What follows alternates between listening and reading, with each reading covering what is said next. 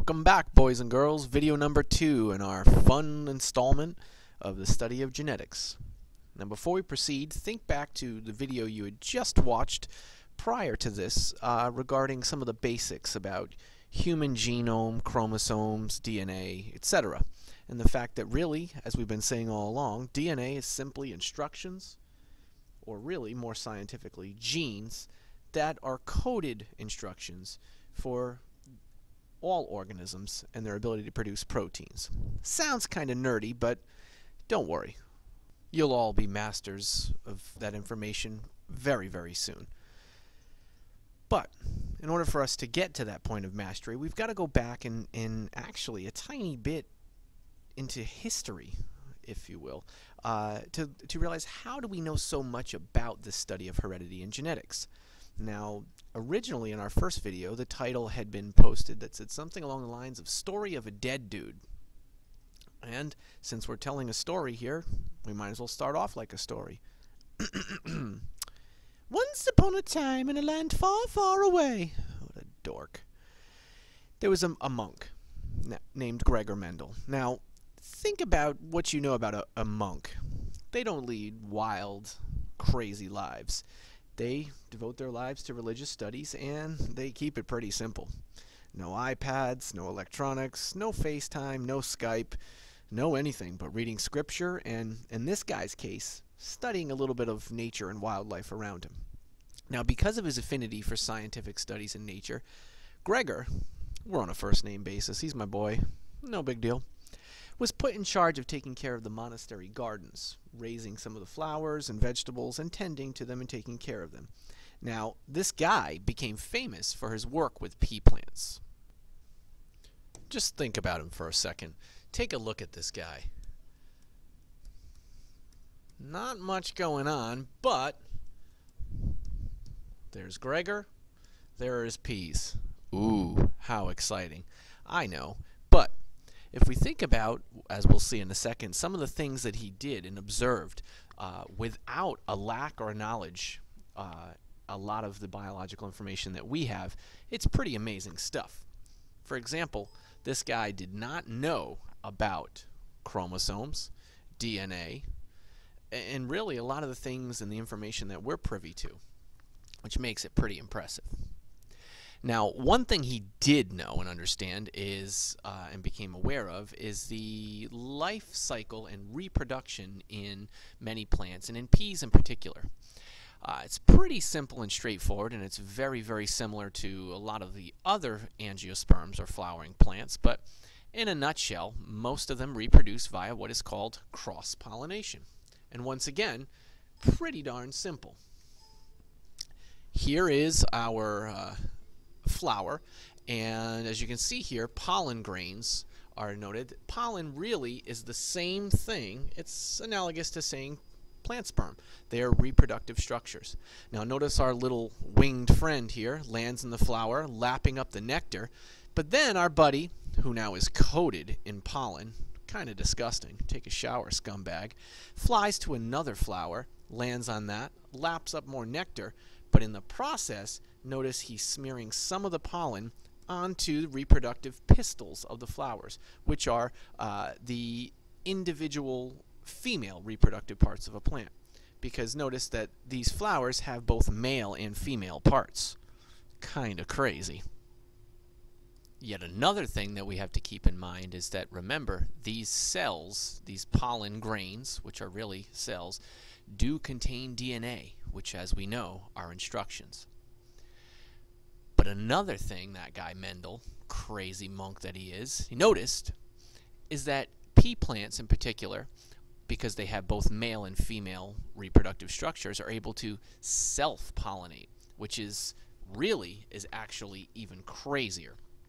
In this instance, uh, the plants can not only uh, fertilize other flowers, they can, with their anthers, can produce pollen grains, which really are the male gametes, but they have the ability to, if that pollen lands on the stigma here, can fertilize that. And notice right here, these peas. What the peas are, really, are fertilized egg cells. Those are the baby peas. Now we know, hopefully we know, you know, I know, and I know that you know, and you know that I know that you know, we all know, we can take these peas at a later point in time, plant them in the ground, water them, they'll germinate, and will grow into, amazingly enough, wow, pea plants again. Hmm. So let's think about that for a second. The pea plants can fertilize themselves and one another, and as he strolled around that garden in his boring monk life, he noticed that no two pea plants were exactly the same. They came in a wide variety of shapes, colors, sizes, etc. Um, here's a quick and cheesy little snapshot of some of the traits. Notice that uh, amongst these characteristics, they can vary in seed shape, uh, being smooth or wrinkled disgusting. Wouldn't want to eat that. Seed color. Actually, it's very. Most people think of pea pods, peas themselves rather, as being green. There are yellow varieties. Their shapes, their pod colors, their flower colors, which we'll focus on in just a second location, plant size, whether they're short or tall, etc. And and really everything in between. So with that in mind, so with that in mind, what did Mendel do? Here's where he got crazy. He set up, without being a scientist, scientific investigations, where he crossed hundreds of different pea plants with different traits. And since time is on his side, remember he is a monk, he had a lot of time to sit back and wait and watch the results, gather the data, and tally them. For example, what he ended up doing here was, ouch, snipping off the actual male anthers, the uh, sperm producing parts of flowers. I wonder why he would do that. Think about that. And then actually would, utilizing a paintbrush here, take pollen from a different flower, in this case a white flowering plant, fertilize the purple flowering plant.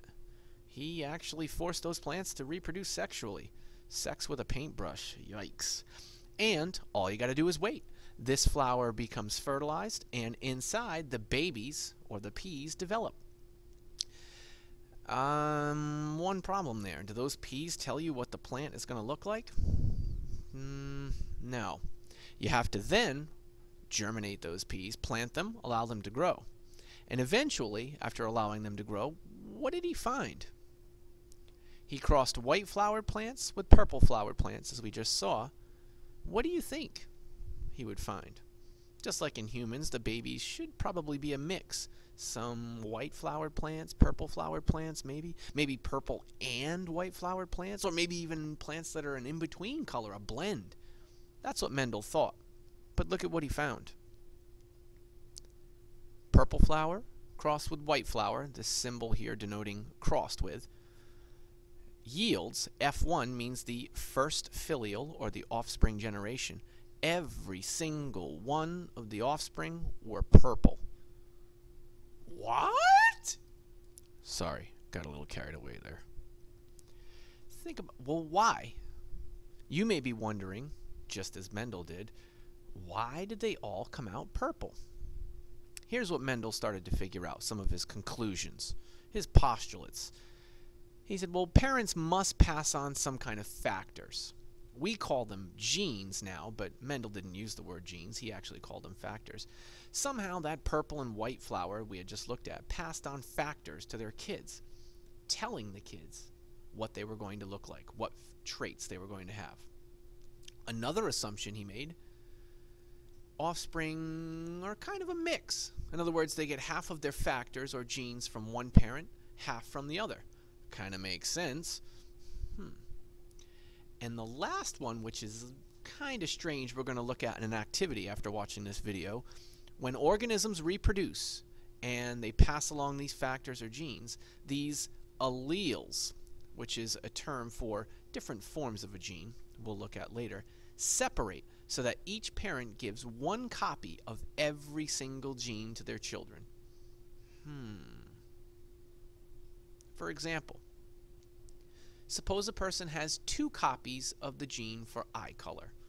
That's a trait we have. There must be some type of instructions that tell us what eye color we're going to have. And let's keep it simple here. Let's use a big B as a form to keep track of that and say that codes for a gene for brown eyes. A little b will represent blue eyes.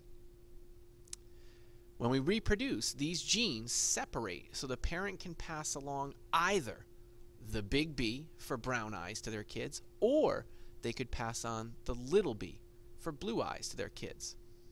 It's really chance. In fact, think of math, the idea of probability.